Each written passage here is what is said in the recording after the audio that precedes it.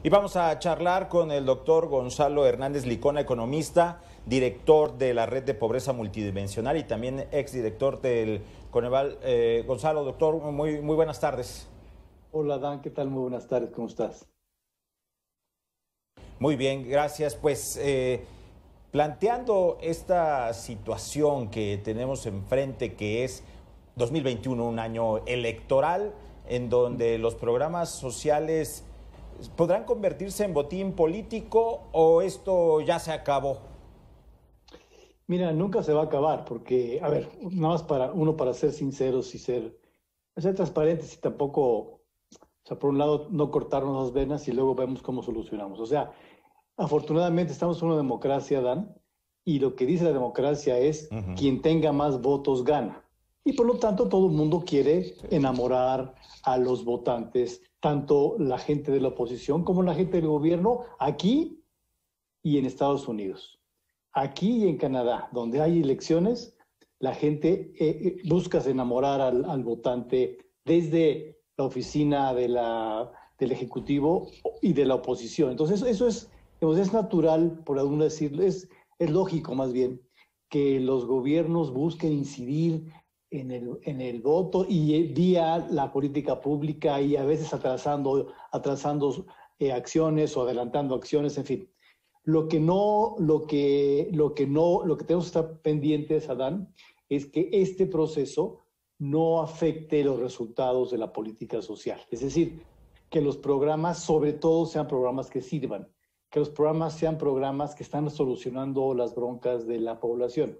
Y es ahí donde los análisis serios dicen, a ver, este, no sé si tú vas a salir a, promover el voto, pero, pero sí te pedimos como, como ciudadanos que soluciones las broncas. Entonces, por ejemplo, en el 2021, desde mi punto de vista, tenemos programas sociales, los que tenemos ahorita el gobierno, que, que no, no están solucionando el problema enorme de la pandemia.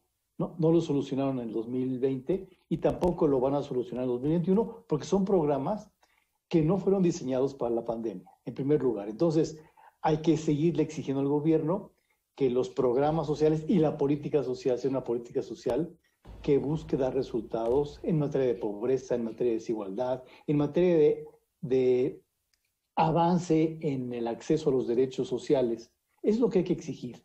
Entonces, obviamente, en un año electoral como este, se presta más al tema político que al tema de resultados y lo que tenemos que exigir medios, periodistas, eh, ciudadanos, ciudadanas, es que los gobiernos sí actúen con responsabilidad. Eh, Gonzalo, cambió un poco la forma de entregar estos apoyos, estos apoyos de programas sociales. Ahora, ¿qué riesgos implica este apoyo de entrega de manera directa? Antes había ciertas condicionantes y ahora incluso puede ser hasta en efectivo. Mira, el efectivo ha estado también en el pasado, Adán. Este, eh, Obviamente el efectivo se presta, pues uno, a muchas tranzas, dos, a poca transparencia, eh, y tres, sí a, a, a, mostrarle a la persona que aquí hay una lana en efectivo que te manda el presidente o el gobernador. O sea, por eso te digo, esto, esto de, de, de andar haciendo caravanas con el dinero público para el tema político no es nuevo eh, me acuerdo yo al gobernador de Veracruz hace unos años, em, eh, eh, Fidel, pues repartiendo de su, de su manita la lana para los programas de empleo temporal. Hoy se presta eso, Fidel Herrera. Hoy se presta, entonces los años electorales se prestan para eso. Los servidores de la nación se pueden prestar para eso. No quiere decir que, que, que todos busquen eso, pero sí hay una tendencia de, identificar el apoyo con el presidente. ¿Te acuerdas que los servidores de la nación hasta hace poquito traían en sus chalecos el nombre del presidente? Lo cual eh, no solamente eh, contraviene los eh, procesos democráticos que hemos acordado, sino que es francamente la idea de que cada apoyo social tiene un elemento electoral. Y en el 21, pues eso no, no va a desaparecer, más bien se va a acrecentar y hay que estar muy pendientes. Obviamente el mensaje más importante a la población, si es que la población mayoritaria que vota nos puede hacer caso a, a un... es decir, oiga, vote por quien crea conveniente independientemente que, quién, le, quién, quién le dé regalos o quién le dé lana, ¿no? Que eso en parte es lo que decía con cierta razón el candidato López Obrador. Decía, a ver, aunque los maicen, pues voten por quien se quiera, pues aquí igual, ¿no? Si aquí el mensaje debe ser el mismo, no importa quién te da regalos y quién te enamora, pues tú vota por quien conscientemente creas que va, que te representa mejor, ¿no? Del partido que sea. ¿Qué diferencia podría haber, ya que eh, hemos hablado un poco del pasado, de aquel programa nacional de solidaridad, de solidaridad con estos siervos o servidores de, la nación que son promotores, como aquellos comités de solidaridad?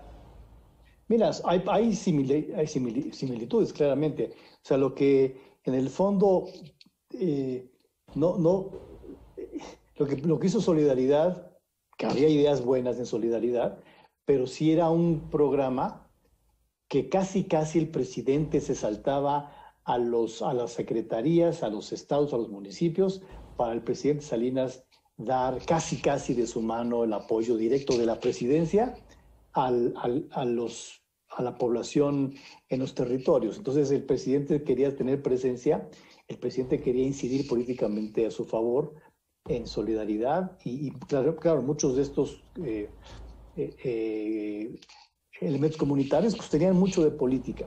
Y aquí, siendo diferente, pero, pero yo veo que nuevamente es el presidente es el que lleva el, el recurso, el presidente y sus servidores de la nación, que es este digamos, equivalente, es esta extensión del brazo presidencial para decir, mira, el presidente te da esto. De hecho, hay, hay videos por ahí que alguna vez vimos donde, donde claramente el, hacían que el beneficiario le agradeciera con lágrimas en los ojos al presidente López Obrador por los apoyos. Entonces, ojalá te digo que seamos y vayamos siendo cada vez más maduros en la democracia para decir, aunque venga aquí el presidente, el gobernador, eh, pues yo voy a votar por quien, por quien yo quiera, independientemente de que me dé una lana o no, ¿no? Doctor Gonzalo Hernández Licona, economista, ex consejero de Coneval, te agradecemos mucho esta participación, estos comentarios aquí en Mega Noticias TVC. Muchas gracias, Adán, y suerte en el día. Gracias, igualmente. Nosotros vamos a un corte, regresamos con más información y noticias aquí en Mega Noticias TVC.